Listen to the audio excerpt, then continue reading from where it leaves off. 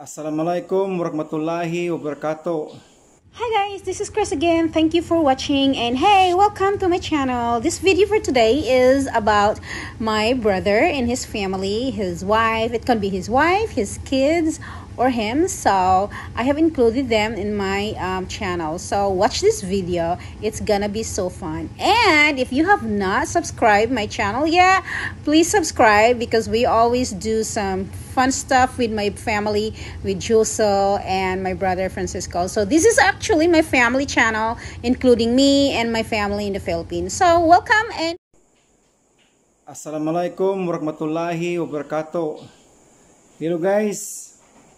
Kumusta? Ako pala si Francisco Alpon Ihong, isa po akong balik Islam uh, sa Saudi Arabia. Ang pangalan ko po sa Islam ay Abdullah. Ngayon po ako ay si Abdullah Francisco Ihong.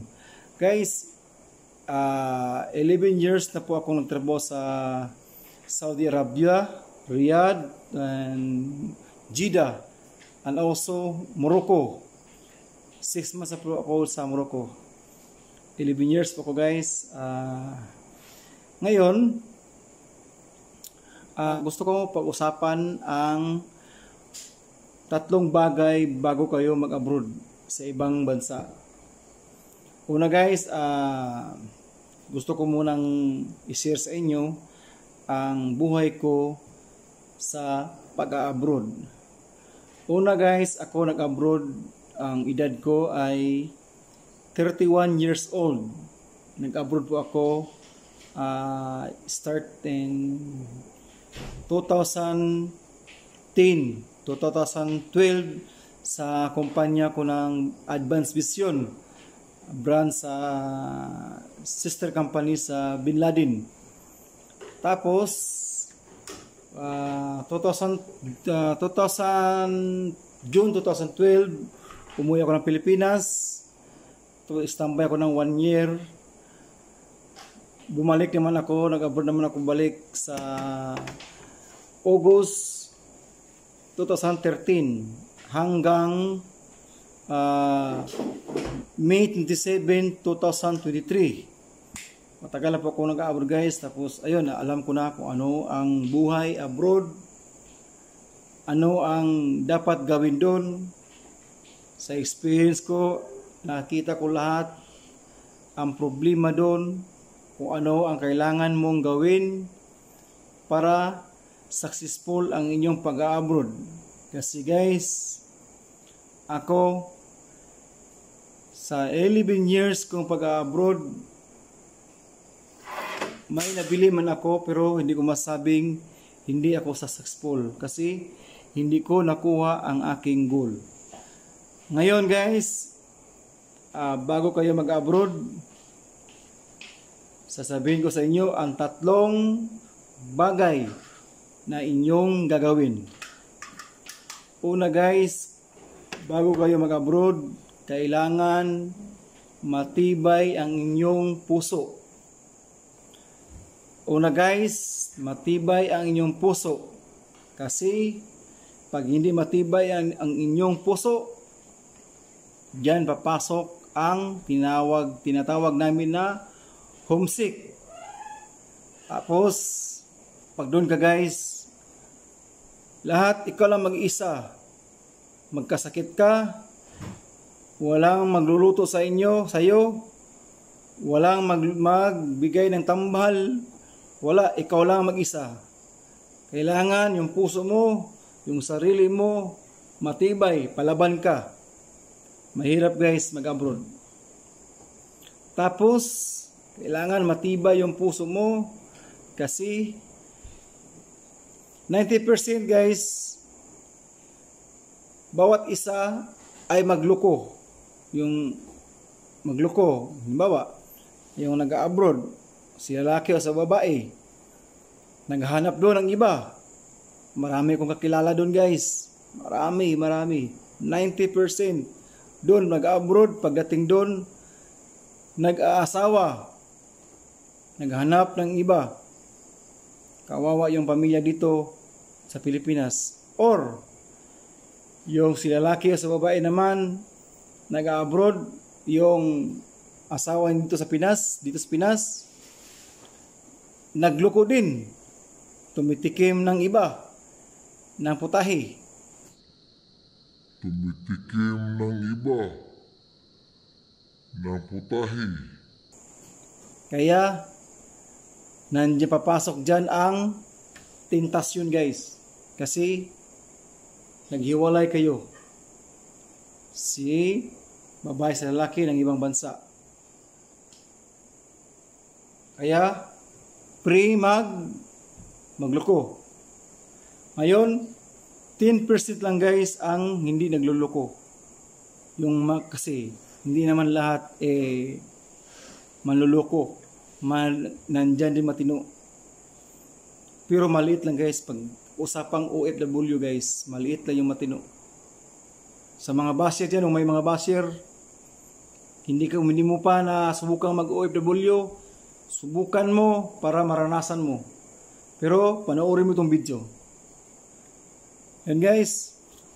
Tapos, kailangan matibay yung puso mo kasi yung mga anak natin minsan maliit pag iwan natin tapos lumaki na yung mga ugali nila hindi natin alam, hindi natin control. Iba na ugali nila. Oo, oo, alam nila tayo ay papa o mama, magulang na tayo pero yung respeto guys may kaibahan na. Tapos, yung iba dyan, hindi natin alam. Bigay tayo ng pira, bigay. Tapos, pumasok na pala sa ibang uh, nalulung na pala sa druga. May nagawa na palang kalokohan. Tapos, yung anak natin, hindi nakatapos kasi nabuntis or nakabuntis. Yan ang problema guys. Kailangan matibay yung puso mo. Handa ka sa mga pangyayari. O ikaw ay mag-abroad. Pangalawa is, kailangan mong mag-ipon ng pira. Kailangan mong matuto ka paano i-divide yung sahod mo. Savings para sa pamilya sa Pinas at panggastos mo dyan sa ibang bansa. Internet, pagkain, yan. Kailangan mo yan matuto ka kasi alam mo kasi guys, pag mag-abroad ka, malaki din gastusin sa Pilipinas kasi abroad ka. Yung dati, yung gastos nyo sa Pilipinas, yung trabaho pa ka, maliit lang. Ngayon guys, pag nag-abroad ka, yung pamilya mo mag-upgrade, ma-upgrade din yan. Malaki rin pangailangan, pangailangan yan. Kasi, alam nila na abroad si mama, abroad si papa. So, maiiba na. Hindi na tulad dati. Ngayon, kung ang ginawa mo, pagsahod, itong sa akin, pang internet, pang uh, pagkain, tapos yung tira, bigay mo sa pamilya mo. Wala ka na sa'yo. Wala ka na savings. Tapos, dumating na umuwi ka sa Pilipinas, sabihin, oh si Papa walang pira, si Mama walang pira. Sabihin mo sa pamilya, Nak, wala akong naipon kasi binigay ko sa inyo lahat. Ba? Sabihin mo sa asawa mo, binigay ko sa lahat sa inyo. Hindi yan maniwala eh guys. Hindi maniwala. Hindi rin mo sila masisisi. Ikaw ang masisisi. Kasi hindi ka nag-iipon.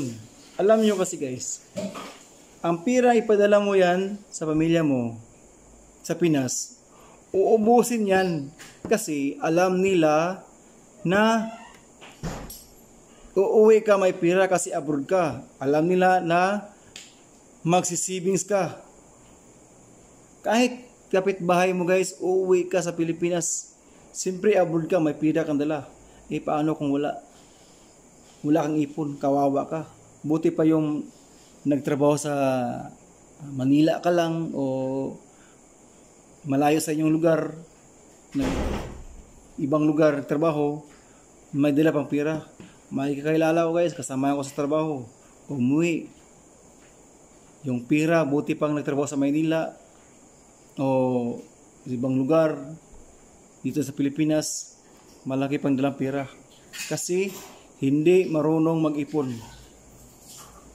Ako kasi guys, alam mo, sabihin natin na parang hindi rin ako marunong mag-ipon ng pira. Kasi nadala ko sa mga problema, nadala ko ganyan, na, na, natukso, natukso ganyan. Alam mo kasi guys, pag nag-abroad ka, maraming tukso. Ito, bilhin mo ito, bilhin mo yan, yan. Kaya huwag kang ganyan, huwag kang bibili, bili-bili. Huwag kang magtiwala sa ibang tao, magtiwala ka sa sarili mo. Mag-ipon ka, mag-savings ka. Pag uwi mo sa Pilipinas, doon ka bibili ng ang gusto mo. Yung nandun ka sa Pilipinas. Mag-imbis ka, basta nandun ka. Huwag kang magtiwala sa ibang tao. Magtiwala ka sa sarili mo. Mag-savings ka. Yung pira mo, iipunin mo yan. Yung pinag ah, sahod mo sa ibang bansa. Ngayon guys, itong pangatlo.